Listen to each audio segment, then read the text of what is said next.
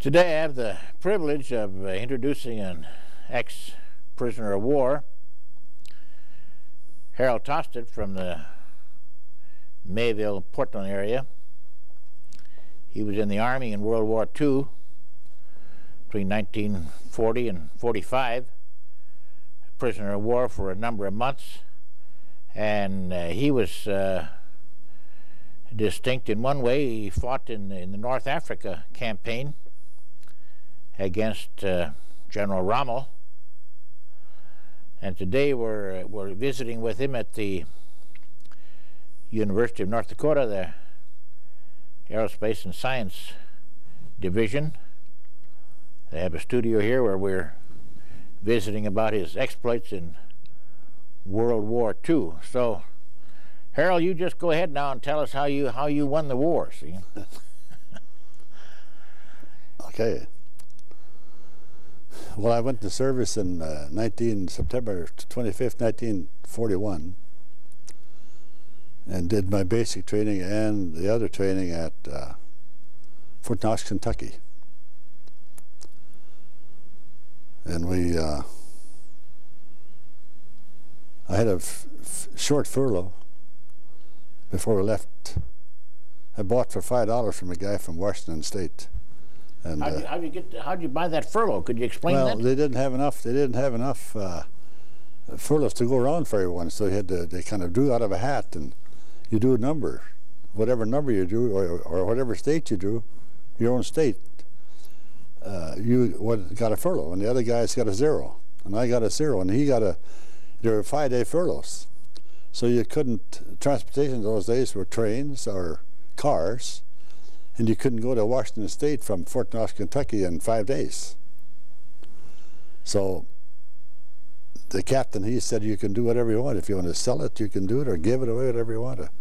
So that's, I won't even know you do it, he said. So we, he, I paid him uh, $5 for it, I think.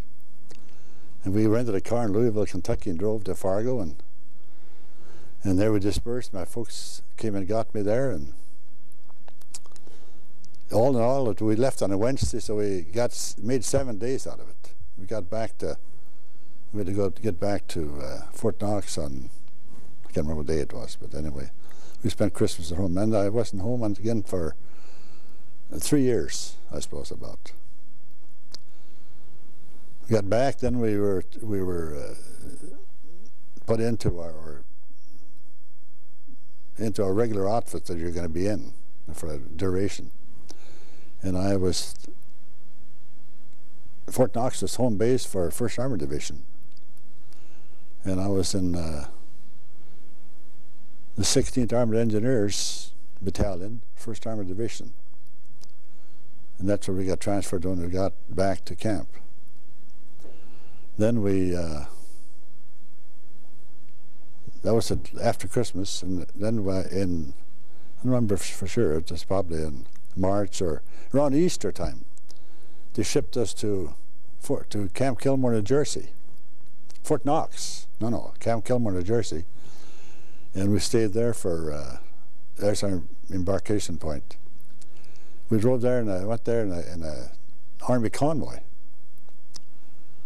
It took us about four days. Took about 80 acres of land to bivouac that whole convoy and we, was, we parked all our vehicles on, on a parade ground at uh, Fort Dix, New Jersey. We stayed there for about a couple of weeks, and then we were put on a train and shipped to Boston, Massachusetts, where we boarded ship. And that's when my overseas time started, about, I think it was about the 13th or 14th of February. I was on board ship. And from there we sailed to Nova Scotia and met up with a convoy and then from there we went on to Belfast, Ireland, where we landed on the 11th of June, 1942. I remember that it happened this morning, really. Couldn't understand those Irishmen, though. They were pretty tough to... And we, we were stationed there at uh, a little town by the name of Kilkeel. I can't remember the name of the base, but the village there was there for well, most until about we got there in June. We was there till about in uh, October, I guess, maybe somewhere. What'd you do then while you were there? All those we were just months. training, and marching, and and uh,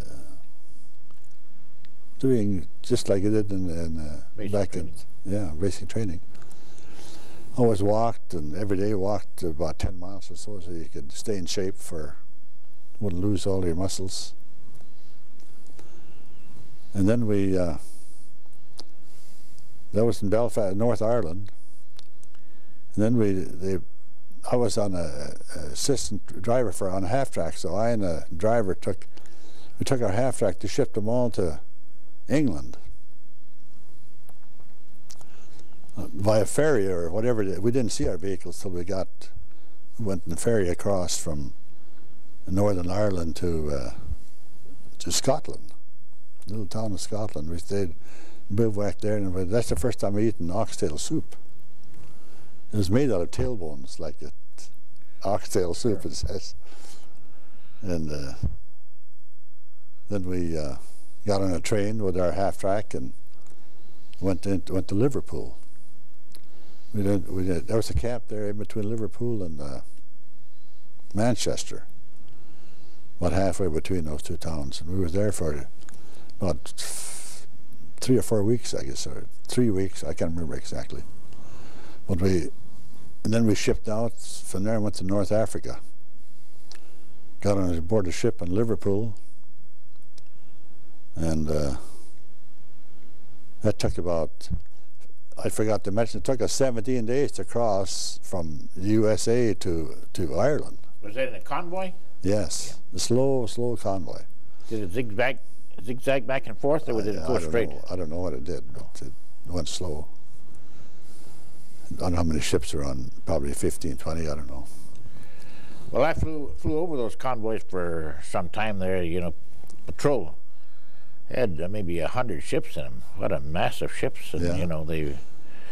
Okay, go ahead. That, that when we got, we got another convoy in, in uh, when we left Liverpool, and that was uh, really a big convoy. That was about they said 1,500 ships. As far as you could see was ships, and like they say, it, uh, you can see of the ocean about 25 miles. Then you're you can hide a whole armada because of the curvature of the earth, and that kind of was proven to us too. Because on that convoy.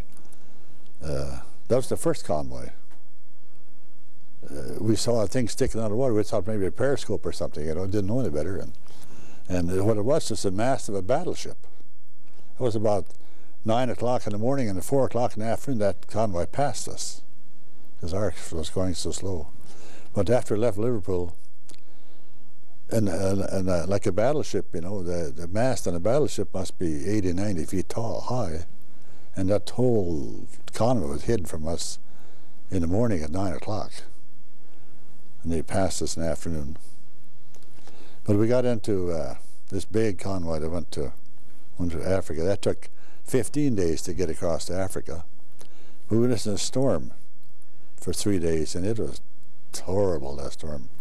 The waves were like, well, I call them hills and valleys because they, the waves must have been when we docked in, in Oran, uh, I looked up on a, on a station where I was on the gun crew on that ship, and I was on a bridge's deck floor, on the, vid- on bridge, and that's one of about the highest place on the, on the ship. And I would say that was at least 40 feet above the water, above the, the shore, the, the dock. And out at sea, you couldn't uh, see ships alongside you. On the convoy, the ships traveled in rows about a quarter mile apart. And they're about six, seven hundred feet or rods maybe behind or be, behind each ship, be, between each ship. But you sometimes you couldn't see the uh, the ships alongside if there was water in between. So that's when I say the hills, and they're really hills and valleys, and the ship would just ride over the wave and then go to finally dive itself into the wave and come back up again. And that was for three days We was in that convoy. And then we uh, uh, they we got, got on trucks and on train. We, we- this we landed around. We got into the Mediterranean Sea. That's in Africa now. That's, Oran, Africa. No, yeah, Oran is North Africa. in the Mediterranean Sea. Was it hot there, summer? No, we were there. We, we got there in, in December. And the nights were really cold. We had, we had uh, a Christmas Day dinner was uh, out uh, on the wide open spaces there. And the longest chow line I've ever seen, but a quarter mile, a half mile long maybe that chow line was. but we had chicken, or turkey, chicken, turkey I think it was. But the, the nights in Africa were terribly cold. There was no snow, but it was raw and wet, and our pup tents, we slept in pup tents all the time. And, and uh, it was sagebrush and not so much sand because we were in the northern part of the desert, you know, North Africa is. But we got on train at, at Oran and then we went, took us two, three days, I think, to go up towards Tunisia, we were.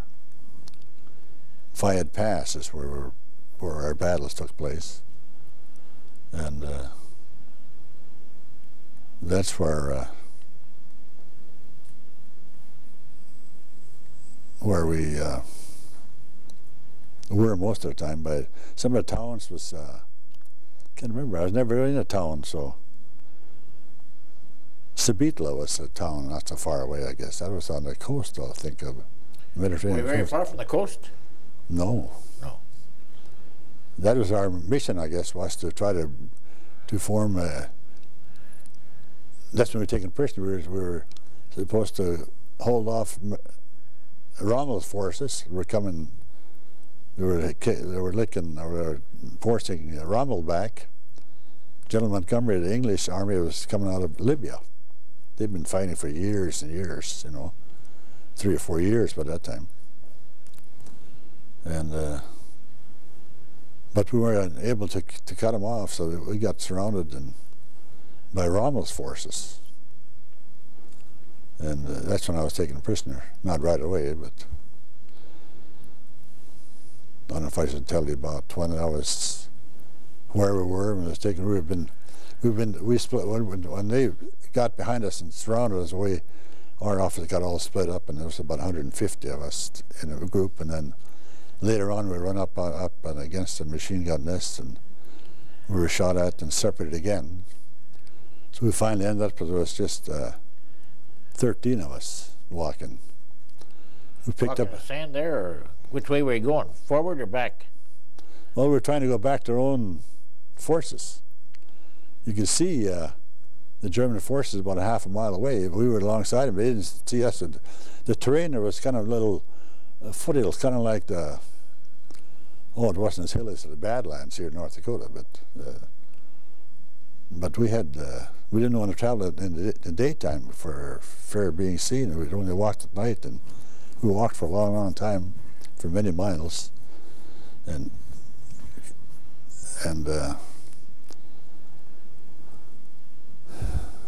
so we, we we laid up that morning in a in a little old shed. Somebody said it was a grain bin. That uh, for I don't know where they raised the grain there, but anyway, that's what they say. It was Arabs. All of you guys? There was just 14 of us, yeah. yeah. In that building, and we were going to stay. We had a way out.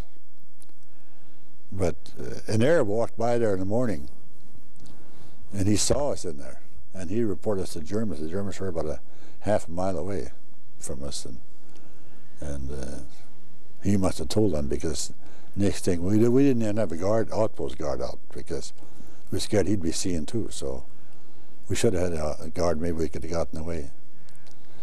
But by the time we, first thing we know, there was a German standing in the doorway with a hand grenade above his head. All he just to drop it in there and finish the rest of us off too. But so that's the day we were captured. We get outside, and there must have been a company or two of Germans out there. So you didn't have a Chinaman's chance. That's when we were taken prisoner. Then we took. Uh, they hauled us that in trucks. I don't remember what kind of trucks they were, but they, because they were so short of equipment themselves. You know, the Germans were. Uh, well, I read the story, this Mein Kampf book, and I read half of the book and I threw the rest of it away because I, I knew the rest of the story anyway, you know. and uh, no use for me to read that. And but the Germans were pretty meager off it at that time. They were short of supplies and food, and from what according to this book, the their soldiers too were short of food and hungry like we were. We walked for about 100 miles, so I think in North Africa before we got taken prisoner. And uh, uh, What happened after you're taken prisoner? What did they take you? Did they feed you or what happened then? I don't know when. I don't remember ever being fed, you know, except in Italy. Well, we were we were uh, they hauled us back to their main headquarters. Then we were in uh, interrogation there. They interrogated there, and they took your everything you had off you. We didn't have any identification on us at all. No pictures, no nothing except oh, they gave us a name and serial number, but it was a pretty scary place anyway because they threatened if you didn't tell them the truth, why, or tell them who you were and what office, why they would probably shoot you, you know. But we never, I never said anything. I just, they finally went back out in the ranks, and then they loaded us up on a truck. They took us in a truck from where we were, we were actually taken taken prisoner to. Uh, this is now in the uh, in Tunisia, Tunis, or I think it's a country, a state by name of Tunis too. It's, Yeah. it's a town, Tunis too. But Tunis is, uh, you've already gone through uh, Tunisia when you get into Tunis. So we weren't very far from Tunis, I don't think. But anyway, they hauled us, and, and we, it must have been from Tunis where they, they flew us to Italy, because Germany still had control of Italy at that time. And uh, Would they load you right on that plane, that Ju-88, or what? What was the number? yeah, that? that's it's a JU 52 maybe. JU 52. Yeah, The tri-engine. three engines. Yeah. It's like a, it reminded me of the old Ford tri-engine airplane. Yeah. yeah. And, How uh, far was that flight? Uh, several hours. over the Mediterranean? Yeah. Over the over the Mediterranean Sea from from Tunis to to Naples, I think is Yeah. where we landed. We bypassed Sicily. We didn't land in Sicily. And you were asking about food. I don't remember a single time we ate that time. No. Several days had passed. And uh, because the food we did take us take with us when we abandoned our place was we blew up our vehicles. So the Germans couldn't hold, get hold of them, but we took out what little food we had and we carried with us, and we walked for 100 miles for taking a prisoner. In this Ju-52, uh, but I remember so well, the pilot, well, the pilot on had gone to school in, in, uh, I think it was in, he was in Pennsylvania, at some school in Pennsylvania, and he uh, was trying to talk English to us, and we did talk English too. Yeah. But I remember the cockpit, and I said those two guys, there's two, pe- two people in that co-pilot, pilot and co-pilot in that cockpit. Well, it stuck out the window, which they weren't supposed to have in the first place, because this was a transport plane, and uh, they used to haul supplies one direction and people out the other direction, towards Italy, because I guess their docks and stuff were so bombed out that they couldn't uh, get in there with supply ships very well. But they couldn't haul very much stuff in those little airplanes either. They were big airplanes, but they, the load capacity was pretty small, like 18 passenger, and that's the only time we weren't crowded with us when we was in that airplane. But we got to Italy and was there for about two weeks. That's when they cooked some soup. I remember that soup. because I think they just went to uh, the, along the road someplace, pulled the weeds and boiled them. That's what we ate. It was terrible stuff. And I had this diarrhea that you would never believe. And uh, then he put us in a train and shipped us. We went to Munich. Their trains. Munich, Germany. Munich, Germany, yeah. Well, Stalag 7B is where the,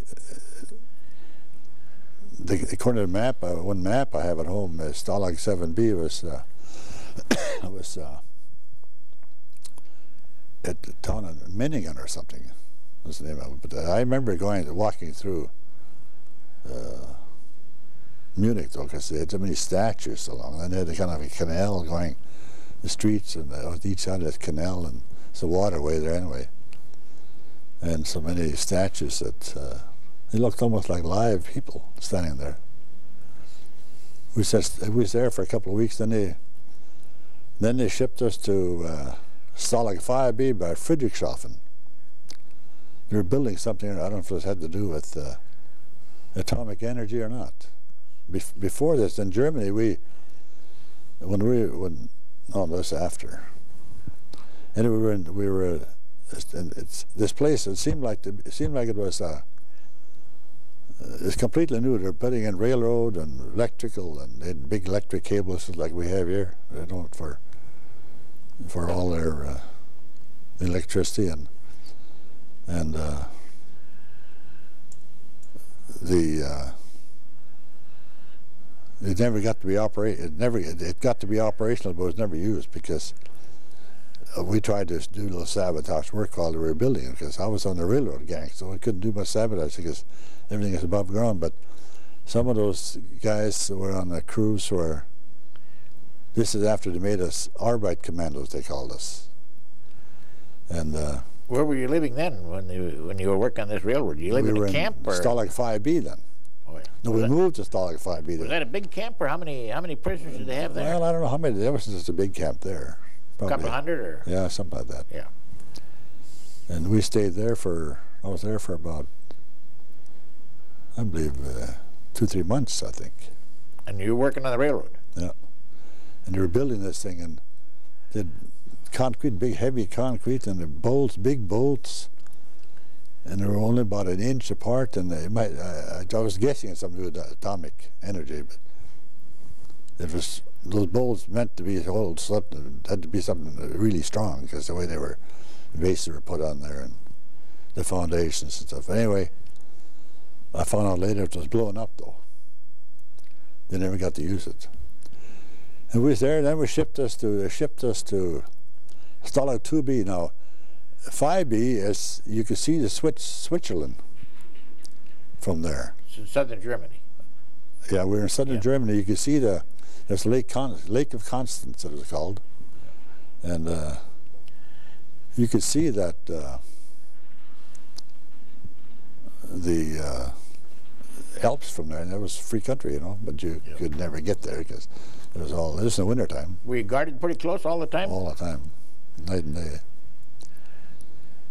And when we, uh, the train we got on, that's when they really packed you in. And their railroad cars are about half the size. They're like our old 48, you see it in Legion. Yeah. That's the kind of cars they were. And there was, I suppose, 40 people in there. Everybody couldn't sit down at one time. Somebody stood and somebody laid. And dysentery. And whenever you had to go use the bathroom, you just, the train stopped. It looked like when you've seen, if you've seen that that movie, uh, Schindler's List, Yeah. where the boxcars, I want to look at you too. I've told this story before. But uh, uh, that's about the way it was. Everybody got off the train and on the siding, and the guards were about 10 feet apart. And, uh, whatever you had to do, you did right there on the, on the right of way. I don't know who cleaned up after us, but because there lots of dysentery, I'll tell you. And uh, we finally got to Hammerstein. Like I say, Stalag 5B was in southern Germany. You could see the Switzerland from there. And they bombed that one night. I forgot to tell you about that. They bombed that one Sunday night because in in in uh, Friedrichshafen was a big building. They had a they had transferred or uh, remodeled it to making uh, submarines there. And I was told that the submarines could be, after finished, they could sail them down the Rhine River or river down to into the Mediterranean Sea and get them out to sea that way, out through the Mediterranean Sea, and and that's what I was told. I don't know if they were not. And there's a many many years ago, there was at Lakehurst, New Jersey. There was a Graf Zeppelin that came from Germany, and they uh, had burned. It was built there in that town. That was. That's why I remember it too. But it, uh, I don't remember the town. I was in that town. I had, get my, I had a toothache in the, and the dentist pulled the two of my teeth back here on the, on this side. Do you have Novocaine? I had Novocaine, but it didn't work. I was out of the office before Novocaine had started to work. I could still. That's why I tell the dentist. I go to the dentist in Fargo at the VA hospital. I tell him, Dr. Hagen, I say, I'll try and be gentle as I can. Well, don't hurt me as much as that dentist did in Germany. I tell him, and he laughs about that. But uh, that that because that town wasn't very far from that Stalag 5B or that camp that the thing they were building there. It's about eight kilometers or so. Then where'd you go? Then we got on a train that shipped us to to Stalag 2B in northern Germany, northeastern Germany, Towards Poland? towards Poland. Yeah, I think on our maps, uh, Hammerstein. I can't even pronounce the Polish name, but uh, You weren't near Warsaw or Stettin? well, yeah, we were east of Stettin, East of Stettin. Yeah, towards Russia. Yeah. And we was there for we was on that farm for 18 months. You must have had a long train ride up there. So long, yeah. Took us a week, I think, to get there. And uh, that was a terrible trip, boy. And we, then they worked us, put us on farms.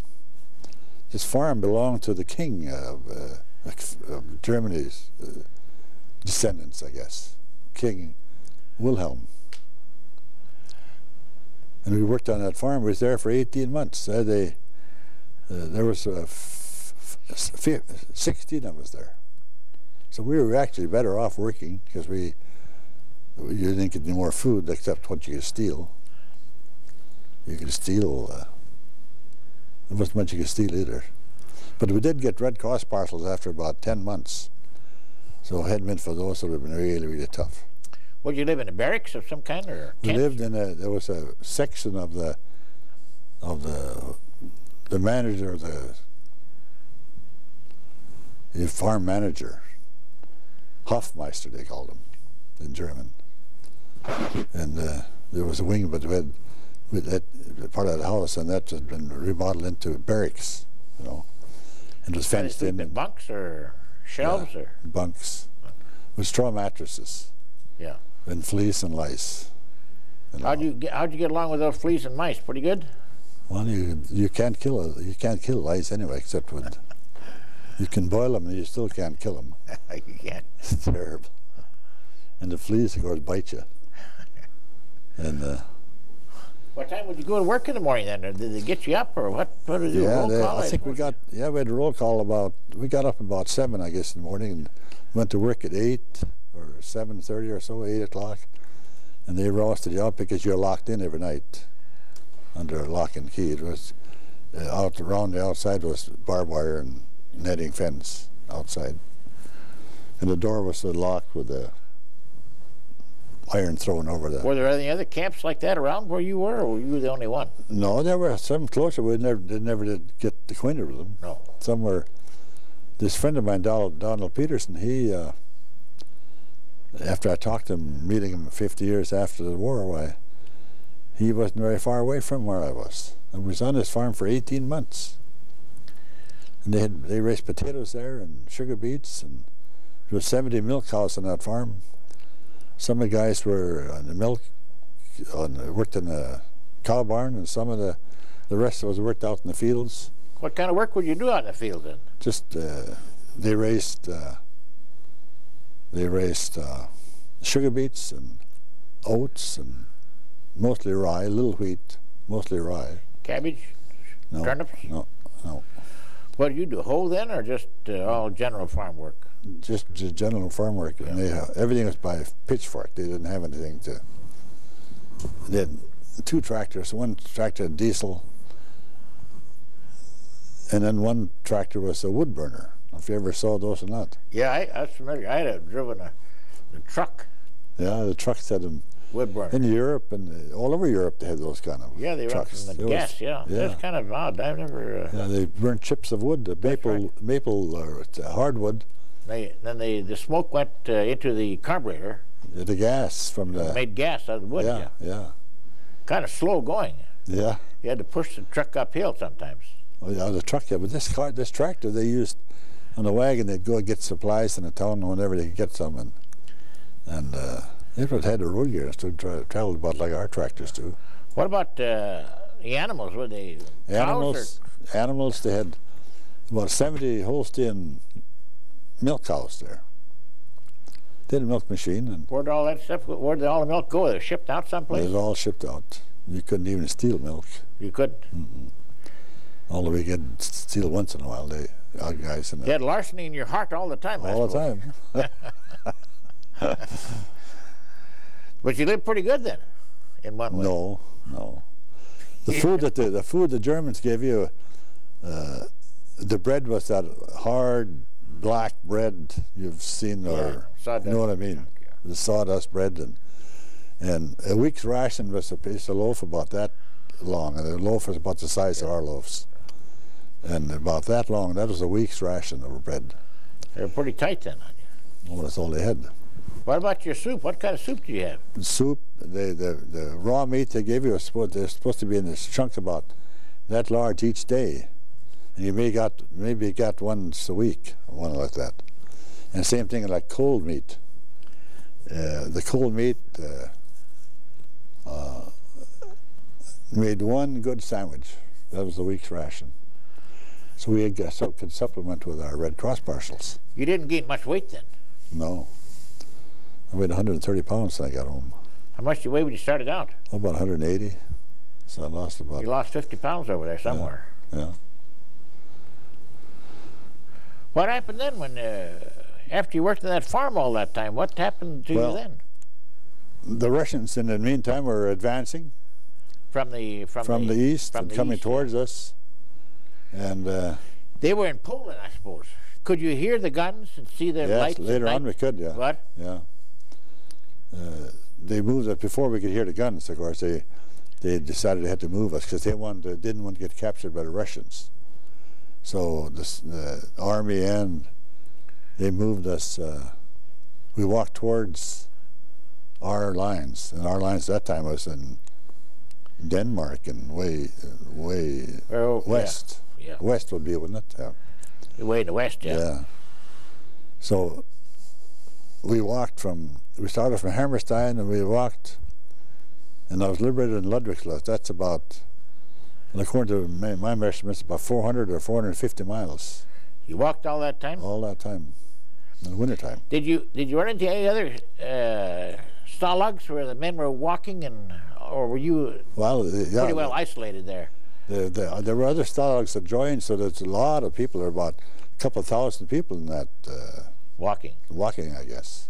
How in the world did you? What about eating and sleeping and Well- water and so on? What happened in those when you get that many men walking out? No. I can't remember a, a, a thing that at a time that the Germans ever fed us, but but uh, they must have fed us sometime because they didn't have food. And what they did, what they did do, they stop on the farm and they'd butch chicken animal. If there was live, live animals, they'd take a and they'd butcher those animals right there and cook and made soup.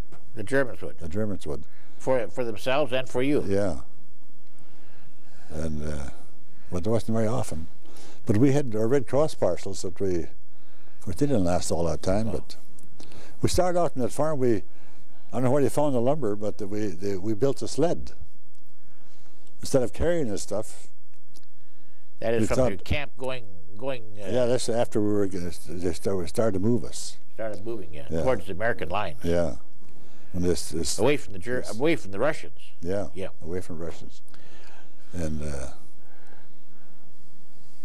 after about a week or so, we disbanded that sled because it was too heavy to pull, and there's a lot of stuff on there. Was there snow on the ground? Snow on the ground. What kind of shoes and things did you have? Well, what I still had my army eight-inch boots. You did. Yeah, and I uh, always took care of them and washed them and cleaned them, so they, I kept them pretty good. Pretty, mine were pretty pretty decent compared to some. Some didn't have shoes; they just uh, had rags and on, and, and you walked in snow. Snow was about six to eight inches deep, and you had wet feet, and uh, I don't know how we made it really, but we did. Did you ever get uh, sick or pneumonia or anything? Or? Well, I I was walking. That's we were carrying this pack, and this pack weighed about seventy pounds, I'd say.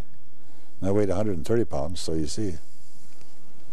I didn't know what I weighed at that time, but I found out later after I got home I weighed 130 pounds. And, and uh, it was tough to carry. And we were walking up a long hill of snow. Was about six inches deep, I suppose, and feet were wet and we had no overshoes. And I coughed up something. I coughed up blood, and I thought, Jesus, what a place to get TB, you know, here. Because I never once, well, you, you wondered sometimes if you're ever going to make it, but Yeah. You always thought that you were, you know, you never give up to decide, I can't go any further. You just couldn't do that. You had to keep going. And we, uh, How'd you make it up that hill then? we finally made up that hill, and and it turned out that it was just the blood that came from strain because it disappeared, and come carrying that load and Oh, I see. and walking that deep snow, and we slept in barns and straw sheds and hay or straw barns. They had No heat then. no heat, no, no heat. How do you, you never took off your clothes? I don't suppose for Very months often, not very time? often. What? You took your stockings off and wrapped them around your, your waist and uh, under your stomach so you could, uh, under your clothes so you could dry them. You could just wring the water out of them, you know, they were just wet. And the shaving, you didn't shave, except one time we did shave and we busted the ice on a barrel was standing under. They'd caught rainwater. And, and the ice was about half an inch thick, I suppose. We busted that and used to wash and shave and that, stripped to the waist and washed in that water because we hadn't washed it. Well, you know what it'd be. What about your clothes? What kind of clothes were you wearing on that I had trip? I had uh, my GI clothes. There again, I had watched, uh, washed them and They taken care of them. wearing out pretty well. Yeah, they, they were tough. Those all these pants, those woolen pants. Yeah. And we each had uh, two blankets that we had gotten through the Red Cross. So, no, we each had a blanket. So, uh, and you always bunked together. So, like in the old pup tents, we didn't have any tents, but we, uh, the barns were just th- those big sheds they had. They were good sized sheds because they they'd stacked their grain in there. And the uh, on this farm we was on, where they were thrashing, they had a thrash machine. They fed it by hand. You fed it on top of the machine, and they cut the bundle in half. And uh, everything was done by hand. And they had a third horsepower motor that pulled, electric motor that pulled, uh, to, to turn that machine. They could thrash about 60, 70 sacks of grain a day. You know, Did you help them on that? Was that on your farm or did you, that was on the farm. Yeah. what happened after you got through with this march? How far did you go? We walked to Ludwigslust, Germany. That's about that's uh, north. Uh, no, yeah, north west of Berlin. About how far? Well, Northeast of Berlin, you mean? I'd say about uh, 150 miles or 200. You 200 were up miles. in northern northern Germany then. yeah, when we're south, you know, we're south uh, east of Hamburg. Well, you you, you went a long way. Yeah, I see. Yeah. You went a long way then on that. That's a long way. Yeah. Stettin, you mentioned Stettin a while ago, and Yeah. we walked through that town. That was Yeah. kind of a harbor town, and and uh, that was bombed that night. Uh, at- we walked through at noon. They bombed it that night. We was about eight kilometers away, five miles away, and that's a Yeah. ringside seat of the bombing. Those uh, British, you know, they used to bomb it at night, and the Yeah, Americans used to bomb it in the daytime. yeah. Now, uh, And then we were then we were we had this new Strawley or something. His name. This, uh, I can't remember the name of the towns exactly. It's about halfway between uh, Stettin and and Ludwigslust, where we, we were we were stopped there for a while in, in the, on the farm there and worked on the farm, and they were planting potatoes in the spring of the year. We started walking in in the middle of January, and we walked. This was in March, I suppose. And the climate there was, well, it never got as cold there as here, but, well, that's neither here nor there. But anyway, we was on that farm for about oh, a couple of weeks, I think, during that time. Then we, then you could hear the our airplanes are starting to strafe our Thunderbirds and those airplanes. We're starting to strafe the people on the on the ditches on the roads and They were uh, occupying those roads. They were Yeah, trying to escape yeah. from the Russians. Yeah. and they uh, that that that uh, farm we was on there that belonged to some officer blame and he was home for uh, on a furlough he had a really beautiful uh, what's the name of a German popular car it was like a two-seat Mercedes Benz or it's one like those yeah, Yeah. it's just like a two-seat uh, convertible oh yeah. touring car. Really nice and leather seats and and this, his driver was polishing that car up. We were walking Barracks. That's the Barracks for a while there. We was in that place for about two weeks, I think. And uh, and uh, he was polishing that thing up, and we were going back to the to the barracks. And the next day we come back, and this, here was his car in the farmyard, and it was just shot full of holes. When the strafed by our airplanes, you know and it was just shot of holes. The leather, of leather upholstery, pure leather upholstery, and it was just stripped like you took a sharp knife and just shredded it. You know, there's just nothing left of it. And uh, They ever strafe you? Huh? Did they ever strafe you when you? No, they, they recognized us. They did. Yeah, some of them recognized. They were that close to the ground. They were planting potatoes. We thought sure they were gonna. We had we had some uh, green scarf. Some from the airborne had some identification, so they they were close enough so they could see this, and they tipped their wings and They did. flew away. And so they didn't, they knew we were there. But they strafed the wagons on the on the roads and What about those uh, POWs? Many of them die on that long trip. I didn't see any die where I was uh, but there were the frozen feet and some were some died because of exhaustion and cold and malnutrition and They just left them there, I suppose. well they picked them up a wagon afterwards. Some went they took to the hospital probably.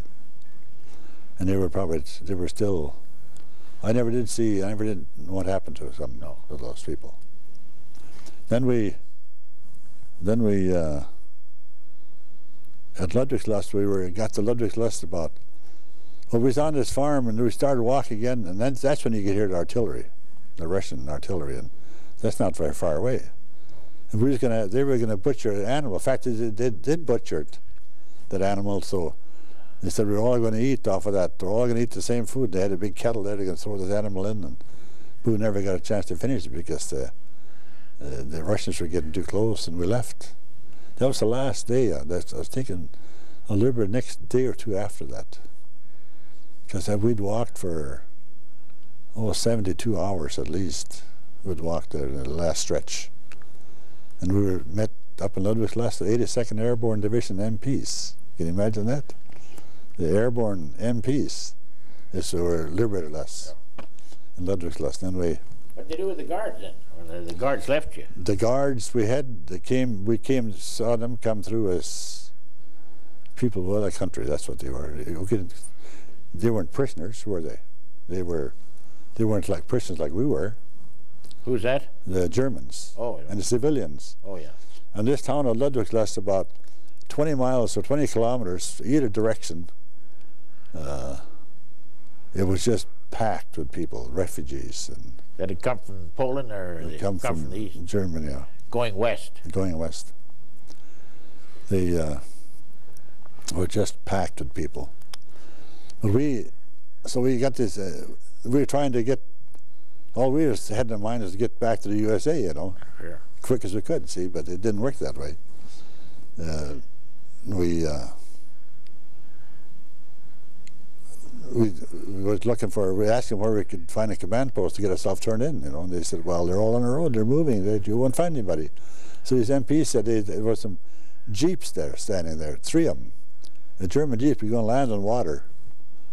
And they said, take that this. Said, that this. Said, I said, we took this and we, we'd seen a, they were pulling it, towing it behind or something, uh, because they didn't have gas to put in that uh, Chrysler, Windsor Chrysler four-door sedan, black one. It really looked pretty, you know. And we was going back in line to see if we could find that thing. Then take that jeep and go look, to look for it, see if you can find it. If you can find it, take it, you know.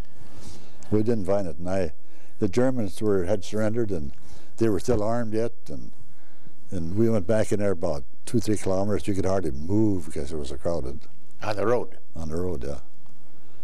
And uh, they threw Women, the children, everything. everything, women, children, they had Animals carts. animals. Well, the, all the animals they had were useful animals, that an oxen or a horse or a, somebody could pull something. And uh, the Germans threw rifles and guns right up in their jeep to us. We could have gone back and launched and sold them for fifty dollars a piece, you know, if we'd known better. And uh, Germans were throwing their rifles. yeah, the, yeah, because they jeep. were they were still the, the army had surrendered. Yeah. But they were in amongst the uh, uh, refugees just like the civilians were. Yeah. And uh, anyway, they we came back and we couldn't find anything. So then they said, "Well, go pick, go pick a." They were running the. They had one street for the civilians and one street for the uh, servicemen or army, to disarm them, and they threw the rifles up in a big pile, and and the refugees went one direction and in one street, and they went, uh, and uh, up on that line was a, a German vehicle. They were ripping the uh, wires out from under the dash to disable the vehicles, just so we couldn't use them, just like we were trained to do. And uh, uh, we took this German offshot, of kicked him out of the jeep, and him and his driver took his car. He wasn't going to let us, but we. He had no choice, so we took it anyway. It was like a two-seater Jeep, I'd call it. And we got in that and we drove that thing and we drove it for about uh, almost a week, I think. You were in American territory. Yeah, yeah, we were in captured territory then, Yeah. see. And here we come in this, this German vehicle and we finally got some paint from a guy. He's painting his house, can you imagine? He's painting his house and we got some paint, we painted PW on there so they could recognize us. And because the highways were just packed with vehicles and our vehicles. I've never seen so many vehicles because they was just advancing everywhere, you know. The Germans had surrendered then anyway. Were they going back towards the American lines then, or? Yeah. Yeah. And we finally got into this town, and and uh, I don't remember what town it was, but they flew us for a while, and but we disbanded. We we let an officer get a hold of that that vehicle we had, you know. And I said too to the guys, I think we made a mistake. We should never let go of that vehicle. We should have kept on going because when we wanted gas, we'd stop at a and food we stopped at a looked like could be a mess hall or someplace that they were camping and at bivouac area. We went in there and got food and and gasoline. We got gas. They told us where you. If we told them where we come from, and one guy was hauling a had a whole semi load of gas can of gas. These tin Five gallon can. five jerry can. square five gallon cans, yeah. And we asked him if he could. We need gas. We said we told him who we were, and he said, "You all been in Germany all that time?" I said, "Yeah." We asked if we could if, he, if we could have gas. Sure, he said, "Take the whole load." He said, "I don't care." so we got gas. That's what we did. We got when we needed gas, we'd, we'd find somebody like that, or we'd find food. We'd stop at a, at a bivouac area somewhere. And then we finally let go of that because we were told that they're going to put you on a airplane and ship you back to the States, you know. Shit, that didn't work that way. But anyway, we, we uh, in this, left that jeep, then where'd you go then? that's when we got into American. American control, yeah. Yeah. We were people out of the country there for a while. Yeah. And we could go on all the way to La Havre, France. We ended up in La Havre, France. We went to Camp Lucky Strike, did you? Camp Lucky Strike. Yeah. That was in La Havre, France. And they flew, we flew, flew in a C-47 for two, three hours. Their auxiliary gas tanks were like the 260 gallon fuel tank you have for our stoves. That's Oh. what their auxiliary gas tanks were. And uh, I can't remember what towns they were. Then they put us in a train. We got to France, and we put on a train. The first day, the, the French took their took over their railroad. But it went pretty good anyway, you know. We went through Paris. I remember seeing the Eiffel Tower, but you couldn't. It was a long ways away, but you could just barely see it. We ended up at Camp Lucky Strike. You know, they had three camps. They had Camp Lucky Strike, Camp Camel, Camp Chesterfield. Mm-hmm. But Lucky Strike was the big one. Yeah, that was a big one. I think that when I w- when I was there, they said there were 75,000 people there, Yeah. I've never seen so many tents. and they had those uh, mess halls. You know, the lines and all the mess halls are about a lo- mile long. When you Yeah. got through eating, you had to run to the end of the end of the line and get in line again. Yeah. the uh, the uh, How'd you get back from the Camp Lucky Strike then? well, we lay there. We waited there for about two weeks, I think, for a ship. yeah. And we got on a American Liberty ship and uh, went back to the states. It took us nine days to get back to the states. Then you went through Camp Kilmer and uh, those places, Yeah. back to uh, Fort Snelling, and Yeah. We, Got- got I- your money and I got a kick out of uh, how they separated you. They on the parade ground at, at Fort Camp Kilmer, I guess it was. You weren't in Camp Kilmer. You were there about 24 hours, 48 hardly ever. 24 hours, you're gone again. yeah. You got in, got in there. They interrogated you and they deloused you and you got clean clothes and How well, they delouse We got those before. Yeah. We got those in Camp Lucky Strike, but Right. they deloused us again. Yeah. They had the bellow thing that you squeezed. They stuck it in your shirt here, and shot your powder all over. With that DDT. Yeah, yeah. That was uh, everybody were full of powder. The uh, They lined you up under those uh, Under those- banners, or yeah, they had signs of states. They had the North and South Dakota, Minnesota together, and there's anybody from those states go stand behind those signs. That's how they separated all these people. Because there was a lot of a lot of troops, you know. oh and, uh, yeah. and we're still on troop trains. Then you went to right to to Fort Snelling. Yeah, right to Fort Snelling. Yeah. Then they got the orders ready for you, and and uh, You went right home, and yeah, and then they got and furlough. I would you got a six had a sixty day furlough. Do you have a sixty day Yeah. furlough? Had a sixty day furlough, and and uh, uh, then after that they sent you back to Hot Springs, Arkansas. Your orders read Yeah. to convalesce for fifteen days after that yeah. wingy furlough, you know. There was a lot of beer drank in those, those 60 days at home, you know. And uh, I went back there, but I stayed there only, then you got a physical again. I stayed there only three days, so five days maybe it was.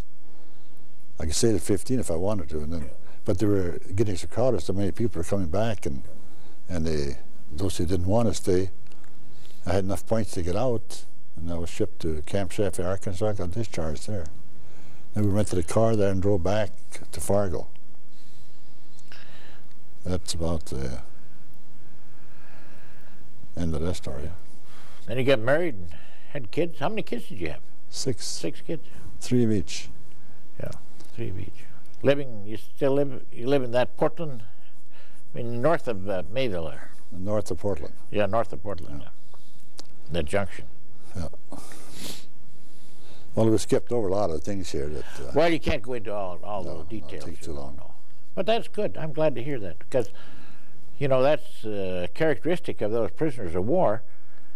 It's all this darn moving all the time, you know. Yeah. I know food and water, and you're moving and moving, and you stay one place, and then you're gone for marching another 30 miles, and it's uh, it's sort of an awful. Uh, you think back, you wonder how you made that like that long walk. I don't know how we made that. a lot of helter skelter, kind of. I, I mean, just we, I don't confusion. know how we even could handle could handle it, but Yeah. we did. That was a long way. Well, the guys were young, see. Yeah. And then everyone was in the same boat. Yeah. And uh, it was, uh, I was surprised. The guys done pretty well. I mean, you know, their health stunk, Yeah. hung in there. Some of them got sick, of course. Some died. Yeah, Quite. I don't know how many died. A lot of people died. yeah. Well, they got died in these camps, you know, where they had all these diseases and Yeah. junk. Yeah. Well, thanks a lot. You did real well. Nice to hear your story and and uh, glad to see you're you're well, and healthy, and Yeah, I had uh, two years ago. I had heart heart surgery in, in, yeah. in the Minneapolis uh, VA hospital. And Does that bother you any now, or pretty no, well? it's, no, it's getting better all the time. I think. Yeah, good. Working hard and getting rich. Yeah. yeah. Sure. Like Well, like thanks it. a lot. Yeah. Yeah, I bet so. Okay.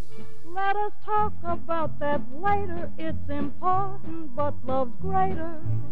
Right now I'm busy as a bee. I'm in an awful hurry, so don't ask me now to stop.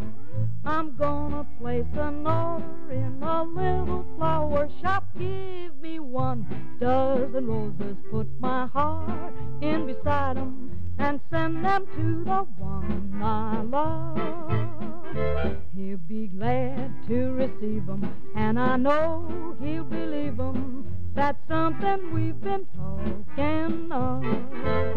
There may be orange blossoms later, kinda think that there will. Cause he's done something to me, and my heart just won't keep still. Give me one dozen roses, put my heart in beside 'em, and send them to the one I love.